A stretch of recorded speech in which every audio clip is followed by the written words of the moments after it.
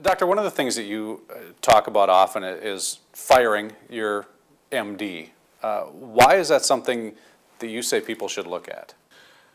The reason that I advocate people to fire their medical doctors is because conventional MD-directed medical therapeutics for chronic diseases do not work. They don't work.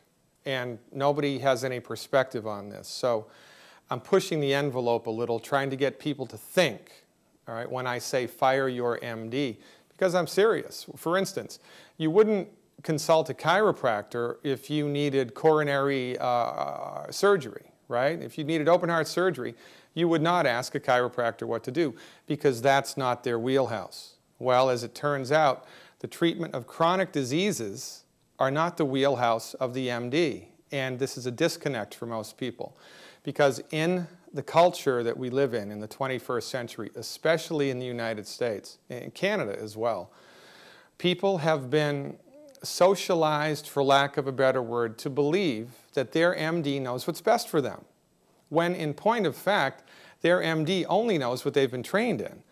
And what the MD has been trained in is just one small piece of the greater pie of medical science. It's referred to as allopathic reductionism your medical doctor, bless their hearts, do not practice medicine, does not practice medicine. They practice allopathic medicine.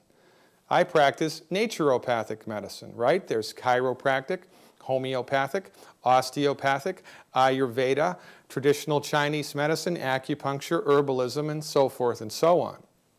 MDs are not trained in medicine. They're trained in allopathic reductionism.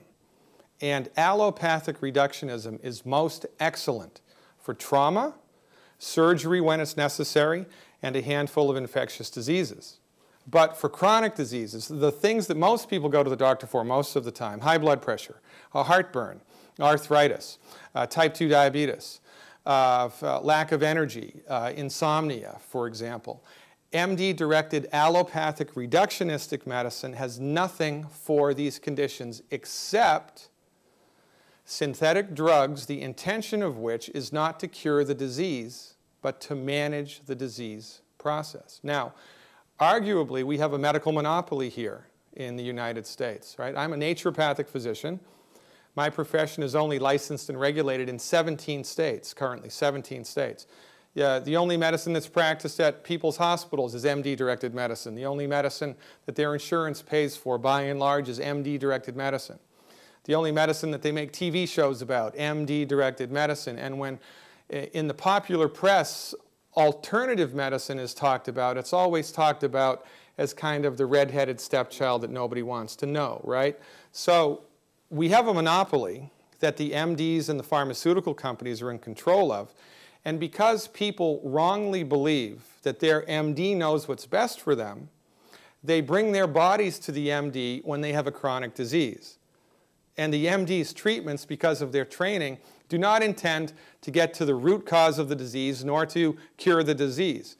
They only intend to manage the disease process. And listen, while we have been under the monopoly of the MD since the early 1920s, heart disease increasing, cancer, forget about it. We spent $600 billion to come up with a cure for cancer. We're not even closer than we were 50 years ago.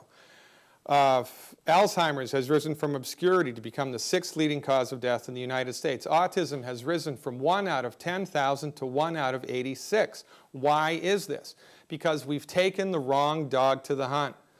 The MD, your MD may be the nicest person that God ever created, but they do not know what's best for you. They only know what they've been trained in. And when it comes to the management or treatment of chronic disease, their therapeutics are abysmally horrible. And we're not against drugs, by the way. It's not the drug, it's how it's used, right? It's not the gun, it's how it's used. It's not the drug, it's how it's used. I can prescribe drugs. Thank God for Novocaine. Thank God for morphine. Thank God for the sterile technique and penicillin.